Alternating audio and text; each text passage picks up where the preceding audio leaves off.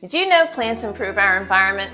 I love shopping for plants. Sometimes I'm a little obsessive.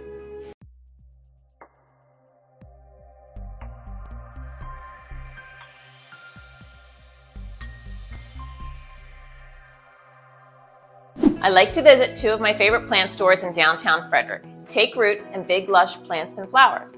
I always come away with some beautiful plants or planters. Indoor plants can improve indoor air quality in a few ways.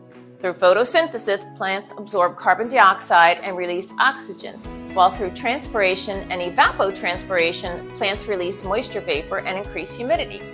There are also studies that plants can boost a mood and have other well-being benefits.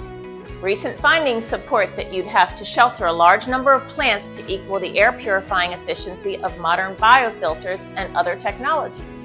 If you decide to purchase houseplants to freshen the air naturally, some of the recommended ones are dwarf date, Boston fern, rubber tree, spider plant, ficus tree, but make sure you check which plants are safe in homes with pets and children.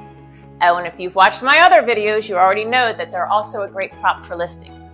Plants are a great way to add a pop of color to rooms that need a little staging help. Plants are especially attractive in listing photos. The best part is it's a great way to add life into rooms without having to break the bank or invest in big changes. Give it a try and try not to get obsessive like me.